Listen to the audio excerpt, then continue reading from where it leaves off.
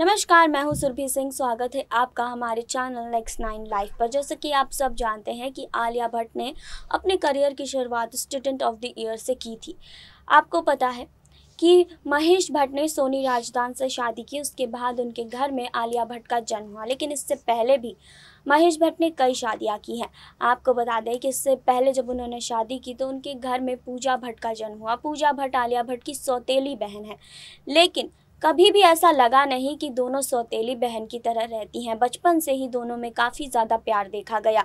जी हाँ कई ऐसी फ़ोटोज़ हैं उनके बचपन की जिसमें पूजा भट्ट और आलिया भट्ट का प्यार साफ़ दिखाई दिया। अपनी छोटी बहन आलिया के साथ बड़े ही प्यार से रहती हैं। पूजा भट्ट, जी हाँ एज का बहुत डिफरेंस है दोनों के बीच में। लेकिन ये कभी दिखाई नहीं देता क्योंकि वो अपनी बेटी की तरह ही आलिया भट्ट को मानती हैं। भले ही सौतेली भाई, बहनों का रिश्ता है उन दोनों में, लेकिन आपको बता दें कि कभी भी ये दुश्मनी इस तरह की देखी नहीं गई। हमेशा ही इन दोनों के बीच में प्यार ही देखा गया है। क्या कुछ हुआ इनकी ज़िंदगी में और कैसे इन सौतीली बहनों का प्यार इतना ज़्यादा हो गया, इनकी ज़िंदगी कैसे बीती बचपन से लेकर अब तक, इसके बारे में बात करेंगे, लेकिन यहाँ नहीं, आगे इस रिपोर्ट में। बॉलीवुड एक्ट्रेस आलिया भट्ट ने करण जौहर की film student of the year से अपने करियर की शुरुआत की थी। इसके बाद उन्होंने टू स्टेट्स राज़ी जैसी सुपरहिट फ़िल्में दी। आलिया ने एक इंटरव्यू में बताया था कि वो अपने पिता महेश भट्ट के बेहद करीब हैं, लेकिन अपने सीक्रेट्स वो अपनी बहन को बताती हैं। आलिया भट्ट ने द अनुपम खेर शो में बताया था कि वह अक्सर अपनी माँ से लड़ाई किया करती थी। आलिया बताती हैं कि मेरी अक्सर मेरी माँ सोनी राजदान से झगड़ा होता रहता था। कई बार चीज़ें ज़्यादा तेज़ हो जाती थी तो हमारी आवाज़ भी तेज़ हो जाती थी, लेकिन मेरे पिता हमेशा मेरा ही पक्ष लेते हैं तो वो झगड़ा मुझे, मुझसे शिफ्ट होकर उनके ऊपर चला जाता है।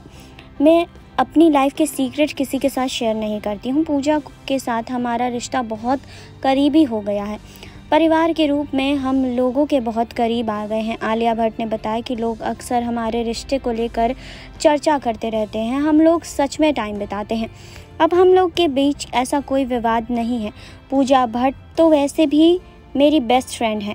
मैं बहुत ज़्यादा चीज़ें उनके साथ शेयर करती हूँ। मेरे पिता सबसे अच्छे हैं। मैं तो चाहती हूँ कि वो मुझे किसी फ़िल्म में कास्ट करें। उन्होंने इतनी हिट फ़िल्में बनाई हैं, लेकिन मेरे लिए आज तक इनकी एक भी फ़िल्म नहीं है। महेश भट्ट कहते हैं कि जब पहली बार मैंने देखा कि आलिया अपनी फ़िल्म में गाना गा रही है तो मैं हैरान हो गया। मुझे लगा कि ये लिपसिंग कर रही है। मुझे तो अभी तक लगता है कि ये गाना भी गा सकती है। आलिया ने इसके जवाब में कहा कि मैंने किसी भी गाने को नहीं सीखा। ऐसा भी कह सकते हैं कि जीन्स ही ऐसे हैं कि मुझे गाना गाना आ गया। मैं तो इतनी सारी चीज़ें अपने परिवार में सीख जाती हूँ। क्योंकि मेरे पिता अगर कुछ भी फैसला करते हैं तो वो पूरा करते हैं। मैं कभी कभार शराब भी पी लेती हूँ, कई बार तो ओवर भी हो जाता है। जी हाँ तो आपको बता दें कि अपनी बहन के साथ वो काफ़ी अच्छा बॉन्ड शेयर करती हैं।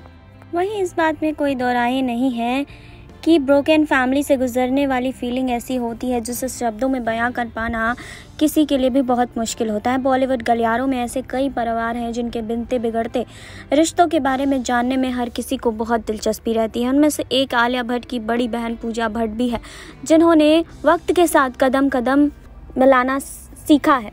आपको बता दें कि आज पूजा भट्ट के संबंध आलिया और उनकी मार सोनी राजदान से बेहतर हो गए हों, लेकिन एक समय ऐसा भी था जब वह उनसे बेइंतहा नफ़रत भी करती थी, लेकिन वो कहते हैं ना कि समय हर घाव को ठीक कर देता है। वैसे भी आलिया और पूजा का रिश्ता काफ़ी अच्छा हो गया है। कहने को तो पूजा, आलिया और शाहीन सगी बहनें नहीं हैं, लेकिन इनकी बॉन्डिंग हर रिश्ते से बढ़कर है। पूजा इस बात को समझती है कि परिवार में बड़े होने का असल मतलब क्या है। यही एक वजह भी है कि इस रिश्ते को लेकर काफ़ी अंडरस्टैंडिंग है।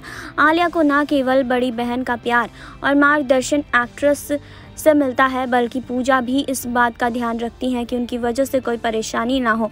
जिसका सबसे बड़ा एग्ज़ाम्पल तब देखने को मिलता है जब पूजा से रणवीर और आलिया भट्ट के रिलेशनशिप को सवाल पूछा गया था। दरअसल पूजा भट्ट से जब एक इंटरव्यू में आलिया के रिलेशनशिप के बारे में सवाल किया गया तो एक्ट्रेस ने जवाब देते हुए कहा कि आपको इस बारे में मुझसे नहीं, बल्कि आलिया से बात करनी चाहिए।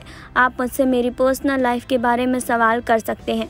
मेरी बहन के मेरे बारे में कुछ भी बताने वाला नहीं हूँ। जी हाँ वैसे भी। वह काफ़ी समझदार है। मुझे लगता है कि ये उसका वक्त है। हमें उन्हें उनकी लाइफ एंजॉय करने के लिए छोड़ देना चाहिए। वह अपनी पर्सनल लाइफ में क्या कर रही हैं और क्या नहीं कर रही हैं, वो पूरी तरह से उनकी प्रॉब्लम है। हम फैसला करने वाले होते कौन हैं? इस मामले को लेकर मेरा और मेरे पिता का अप्रोच अलग है। हम हमेशा उनके साथ हैं, यह सुनिश्चित करने के लिए कि वो खुश हैं और सुरक्षित दोनों हैं। खैर, पूजा, इन बातों से इतना तो साफ़ कह रही थी कि वह पब्लिक में ऐसा कुछ भी बोलने को तैयार नहीं है जो उनके परिवार वालों के लिए परेशानियों का सबब बने। वो समझती हैं कि अपनों को विश्वास दिलाना, अपनों का विश्वास तोड़ना कितना दुखदाई होता है। विश्वास एक मज़बूत रिश्ते का वो पहलू है जो एक बार टूट जाए तो फिर कभी बनना बहुत मुश्किल हो जाता है। हो सकता है कि जब आप अपनी परिस्थितियों के बारे में सोचते हैं तो आपको विश्वास तोड़ने के लिए प्रेरित करती है तो बेवफाई तुरंत आपके दिमाग में आती है। लेकिन इसके बाद भी रिश्ते में विश्वास खोना सही नहीं है। पूजा चाहती तो आलिया के बारे में कुछ ऐसा भी बता सकती थी जो उन दिनों मीडिया की सुर्खियाँ बनती, लेकिन उन्होंने ऐसा नहीं किया। वो जानती थी कि विश्वास का पूर्ण निर्माण होना कितना मुश्किल है। विश्वासघात के बाद किसी पर भी भरोसा करना बहुत मुश्किल हो जाता है, खासकर तब जब किसी को आपने ऐसा किया हो। हो सकता है कि पास्ट की कुछ ऐसी बातें अभी भी आपके जहन में जमी जमाई बैठी हो। लेकिन इस दौरान ध्यान देने वाली बात यह है कि उस व्यक्ति के साथ वर्तमान में आपके रिश्ते कैसे हैं। आपको बता दें कि पूजा आलिया का रिश्ता भले ही उतार चढ़ाव से गुजरा हो, लेकिन इनकी बॉन्डिंग हर इंसान, हर उस इंसान के लिए बड़ा सबक है, जो आए दिन कहते फिरते हैं कि सौतेले रिश्ते में नफरत पैदा होने के बाद दोबारा प्यार नहीं हो सकता। हम इस बात को मानते हैं कि ऐसा कोई भी रिश्ता को अपनाने में किसी के लिए आसान नहीं है, जिसमें विश्वास ना के बराबर हो, लेकिन अगर कोशिश की जाए तो ऐसा करना मुश्किल भी नहीं है। पूजा, आलिया और साहिन के साथ एक मज़बूत बॉन्ड शेयर करती हैं, जिसका बहुत हद तक क्रेडिट सोनी राजदान को जाता है। यही एक वजह है कि पूजा अपनी दोनों बहनों को कदम कदम पर गाइड करते चलती हैं।